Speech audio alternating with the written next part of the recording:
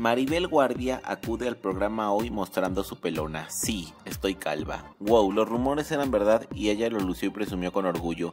Y es que luego de meses de especularse que Maribel Guardia no es tan perfecta como muchos suponían, y tiene un físico envidiable que todas las mujeres desearían poseer, se reveló, confirmando por ella misma que desde hace años, como muchos suponían, en realidad no luce una abundante cabellera negro azabache, sino que en realidad su pelazo es producto de una peluca, por lo que en realidad Maribel está calva y desde hace años se ha valido de usar cabello falso para dar una apariencia más estética y llenar los canones de belleza que la sociedad y sobre todo la televisión imponen.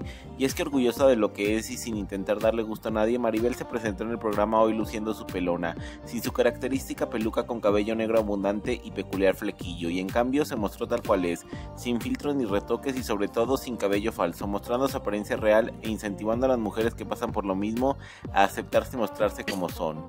Hola querida gente del público, hoy tenemos a un mujerón, una de las artistas más bellas de la pantalla chica desde hace décadas, que es bella por fuera y más bella por dentro, y que hoy nos abre su corazón y viene a demostrarnos que es una mujer auténtica y sin filtros. En este medio arrogante es fácil vivir de las apariencias, pero hoy nuestra invitada, la bella Maribel Guardia, nos demuestra que lo importante no es complacer a los demás, lo importante es aceptarse y estar a gusto con uno mismo. Lo demás vale chetos, no importa lo que digan, y por eso está hoy aquí Maribel, y quiero recalcar que no trae su característica Hoy se muestra como es. Muestra su pelona que a ella hasta la calvicie se le ve sexy a la condenada.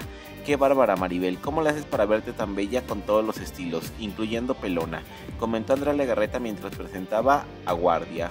Maribel por su parte impactó a la audiencia al mostrar su calvicie y dar un mensaje de aliento y aceptación, señalando que durante años vivió bajo el yugo de los estrictos canones de belleza de las televisoras pero ahora está liberada y no piensa seguir más ese estándar. Afortunadamente la televisión se ha abierto más porque las redes sociales le han quitado mucha audiencia. Ahora los productores son más flexibles y lo, y lo que cuenta hoy es ser totalmente natural y abierta con la gente. Esperé mucho este momento, no me quejo porque verme bien me ha dado de comer y para vivir excelente, pero sí es cansado recurrir a cientos de trucos para vernos como algo inalcanzable cuando en realidad somos mujeres comunes y corrientes. Esta soy yo, no tengo cabello y no me avergüenzo, al contrario, me siento muy fresquita cuando me quito la peluca y se me refresca el cuero cabelludo.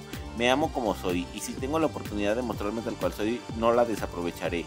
Por eso de ahora en adelante me verán así, pelona, porque no pienso volver a darle gusto a nadie. Total, si me corren de la televisión, abro mi canal de YouTube y ahí doy tips de belleza pelona, que es como me siento a gusto, puntualizó Maribel sonriendo.